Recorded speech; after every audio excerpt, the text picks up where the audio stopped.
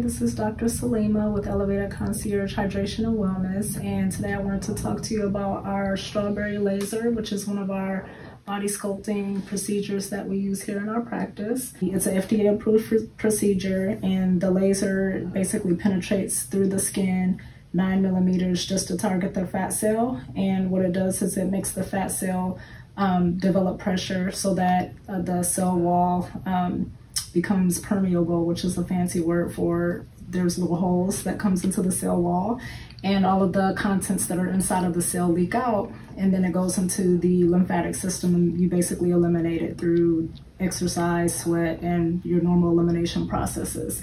Like as soon as they have the procedure done, you take a before and after picture and you clearly see that the person is smaller in their treated area. It also helps um, st stimulate your lymphatic system, which is really good for detox. So this is the machine and these are the laser panels here.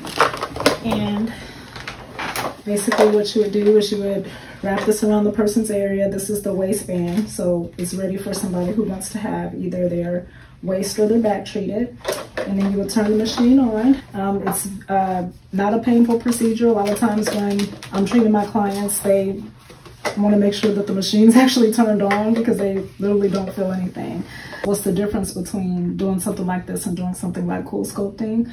Um, so CoolSculpting um, is also body sculpting, but it's using cold to freeze the fat cell um, versus this using a laser to um, shrink the fat cell. So those are the differences between the two. Um, the reason that I chose to do this over doing CoolSculpting was um, I didn't like the fact that CoolSculpting was painful.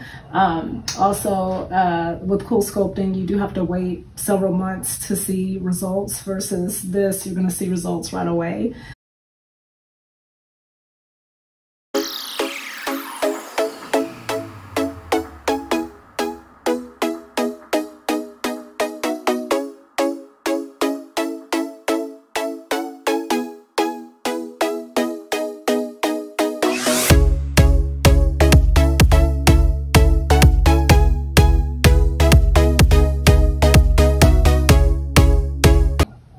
Anyway, just wanted to kind of explain the strawberry laser and um, hope you guys enjoyed this video.